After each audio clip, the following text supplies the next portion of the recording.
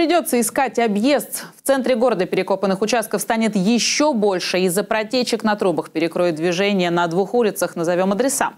Об этом не только расскажу прямо сейчас. Вы смотрите «Давича». Меня зовут Елена Чехомова. Здравствуйте. Все под контролем. В Гордормустрое показали лабораторию, где проверяют качество асфальта. Вырубки покрытия привозят со всего города.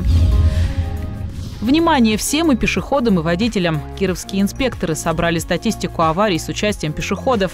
Говорят, цифры внушительные. Никандр, Арчибальд, Евлалия и Аврора. В городском ЗАГСе рассказали, какие необычные имена выбирают родители своим детям в Кирове. А сколько малышей появилось на свет в этом году? Футбольный клуб «Динамо Киров» вернулся в профессиональный спорт. Первый матч сыгран, первые выводы сделаны. К чему футболисты готовятся теперь?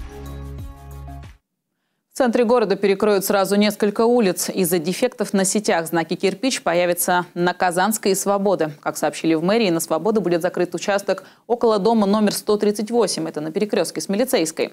Коммунальщики планируют закончить работу к 8 августа. Другой участок на улице Казанская между Горбачевой и Молодой гвардией. Там тоже обнаружены протечки на трубах. На проезжей части уже выставили запрещающие знаки, но асфальт еще не вскрыли. Водителей просят учитывать эти изменения и заранее планировать свои маршруты. После ремонта в рамках нацпроекта в Кирове принята 21 улица. В том числе положительные заключения получены по итогам исследований асфальта.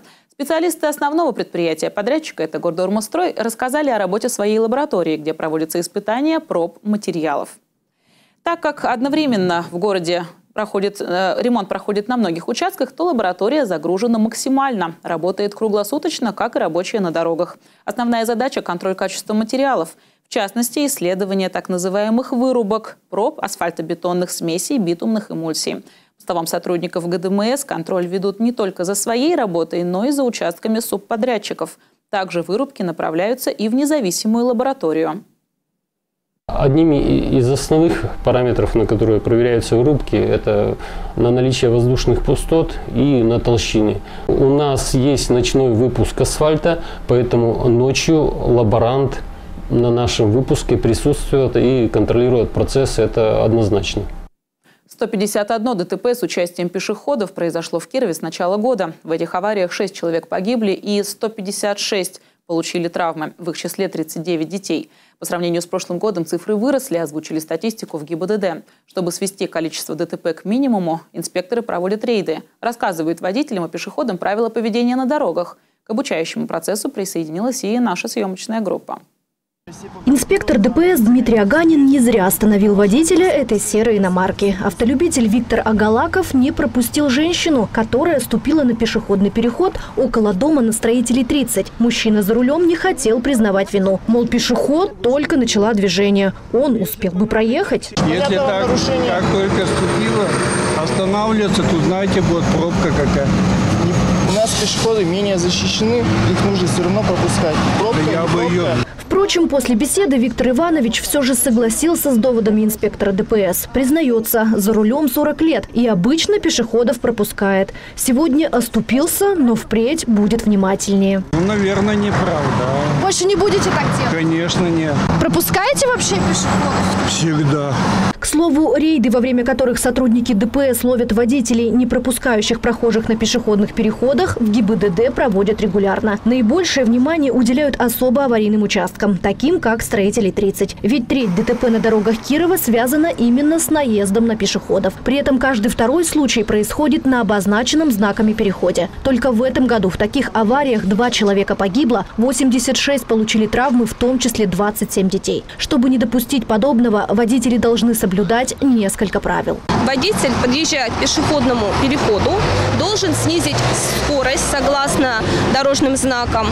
А также, если пешеход э, ступил на проезжую часть, водитель должен пропустить пешехода. Водителю запрещено осуществлять обгон транспортных средств на пешеходном переходе.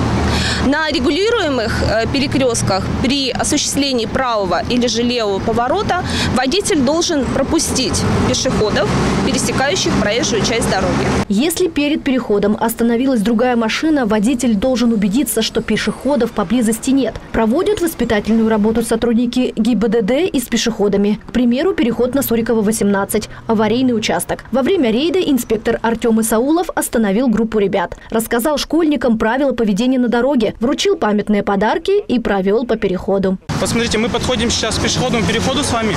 Первым делом, что мы с вами делаем? Смотрим налево, направо несколько раз. Не просто один-два раза посмотрели, несколько раз посмотрели. Видим, что машины нас видят, правильно? Возьмемся за руки, давайте за руки возьмемся. За руки возьмемся и смотрим по сторонам. Кроме того, во время перехода дороги пешеходы не должны отвлекаться на посторонние вещи, слушать музыку в наушниках, разговаривать по телефону, рассматривать в гаджете фото и видео. Если стемнело, стоит надеть одежду со световозвращающими элементами. Вне города эта рекомендация превращается в требование. Если пешеход вздумает переходить дорогу в неположенном месте, его ждет штраф – 500 рублей. Кошелек водителя, не пропустившего пешехода, опустеет на полторы-две с половиной тысячи. Если случилась авария, пешеход получил тяжелые травмы или погиб, автолюбителя ждет уголовная ответственность. Ульяна Ездакова, Александр Нестеров, Бюро новостей Давича. Хотела помочь знакомому, но подставила саму себя. В Кирове перед судом предстанет 45-летняя женщина с задачу заведомо ложных показаний в качестве свидетеля. По версии следствия, кировчанка на допросе пыталась убедить полицейских в том, что ее знакомый невиновен в аварии. Теперь за свои слова женщине придется ответить в суде дала заведомо ложные показания, фактически исказила данные о действиях приятеля. Вместе с тем эти обстоятельства не нашли своего подтверждения в судебном заседании, и виновник аварии был привлечен к уголовной ответственности.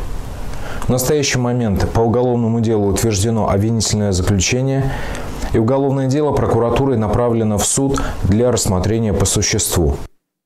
С начала года в городе родилась уже тысяча маленьких кировчан. В городском ЗАГСе зарегистрировали запись о рождении ребенка с этой круглой отметкой.